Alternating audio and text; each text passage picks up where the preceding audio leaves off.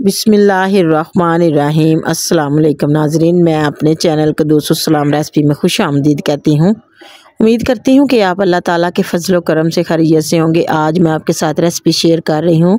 बच्चों के लिए घर पर कैंडी तैयार करना, थोड़े से तिल और थोड़ी सी चीनी के साथ बहुत ही यूनिक और आसान तरीके से रेसिपी बनाना बताऊँगी। आप ये रेसिपी बना के लंबे अरसे तक सेव कर सकते हैं। आए रेसिपी शुरू करते हैं।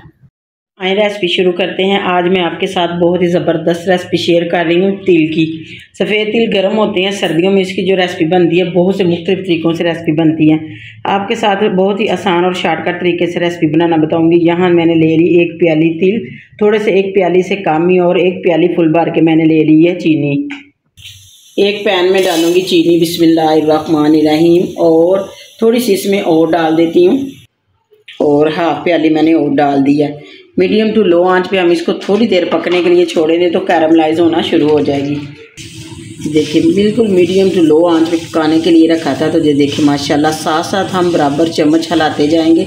अगर ज़्यादा जी इसको हम पकाएँगे तो ये जल जाएगी और खुशबू इसकी चेंज होगी और फ्लावर फ्लेवर भी इसका बद मज़ा कर देगा। तो देखिए, माशाल्लाह, बिल्कुल हल्के हाथों से पकाते जाएँगे।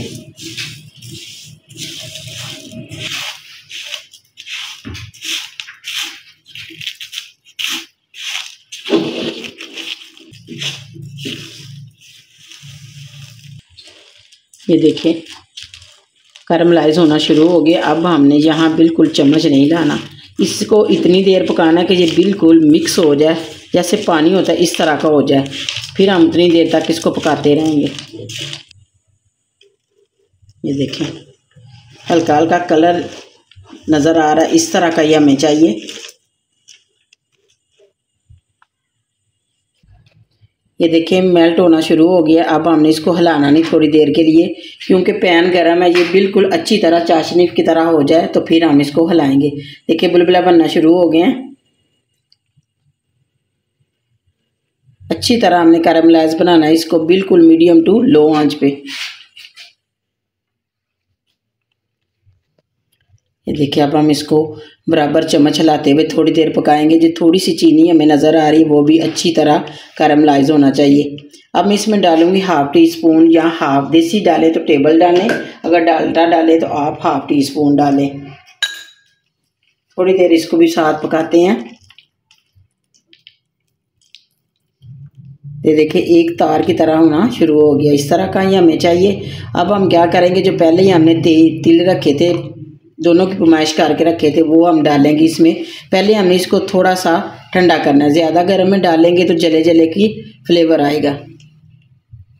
अब यहाँ फ्लेम मैं ऑफ़ करती हूँ। थोड़ी देर इसको रेस्ट पे छोड़ते हैं ठंडा होता है, फिर आगे वाला स्टेप शुरू करेंगे। पैन गर्म ही था तो देखे मैंने फ्लेम ऑफ़ की है तो इसका कलर चेंज होना शुरू हो गया। अगर हम इस तरह के गर्म ही डाल देते तो यकीन करें इतने कड़वाहट का जायका आना था, आपने बिल्कुल भी खाना नहीं पसंद करना था। आप ये रेसिपी ज़रूर बनाएँ, बच्चों के लिए, सभी के लिए बनाएँ और इसको बना के सेव कर लें। अब इसमें डालेंगे हम तिल। थोड़ा सा ठंडा होते ही तिल डालने के बाद हम इसको अच्छी तरह मिक्स करेंगे, ये देखें माशाल्लाह। अभी भी पैन बहुत ज़्यादा गर्म है। अच्छी तरह मिक्स करने के बाद मैंने एक परात ले ली है बड़ी सी। उसमें मैंने ग्रीस कर लिया है घी के साथ। देसी घी डालें या डालटा या मक्खन। देखें माशाल्लाह, बिल्कुल फ्लेम ऑफ़ के ऊपर मैंने ये पैन को मिक्स कर रही हूँ। तो इसका कलर देखें कितना डार्क हो गया अगर हम साथ साथ तिल डालते तो ये करवाहट छोड़ देता। अब हम ट्रांसफ़र करेंगे परात के अंदर इसको।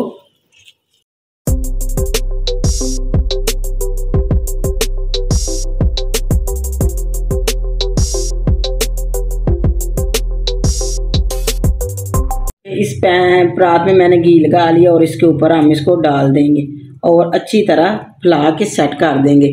कम अज़ कम दस मिनट तक इसको रेस्ट पे छोड़ेंगे।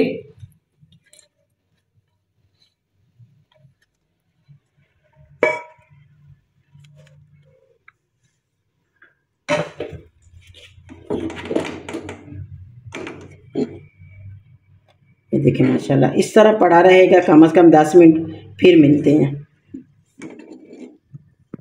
थोड़ी देर रेस्ट पे रखकर ठंडा होते ही हम छोटे छोटे पीसीज के स्लाइसिस में इसको काट लेते हैं। ये देखिए, इस तरह निशान लगाएँगे, बिल्कुल छोटा साइज़ रख के।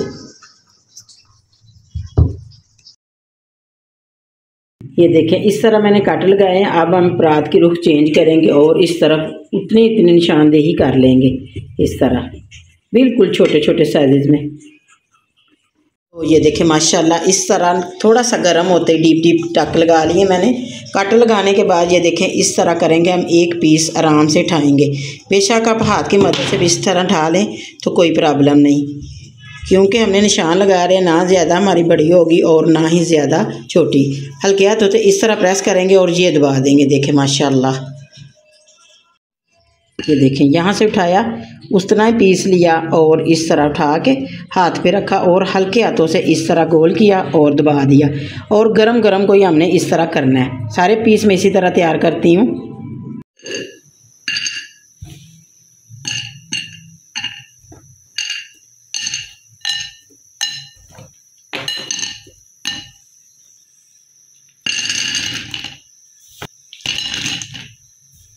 तो देखें, माशाल्लाह, बहुत ही ज़बरदस्त थोड़ी सी चीनी के साथ और एक प्याली तिल के साथ मैंने जी आपके साथ रेसिपी शेयर की है।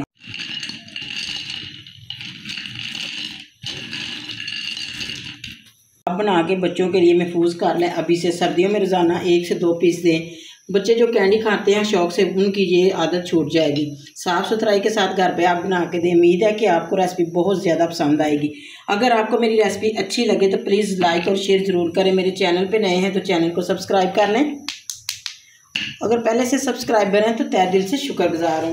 एक पीस में आपको खा के चेक करवाती हूँ कि इसका क्रंचीपन देखे कितना है।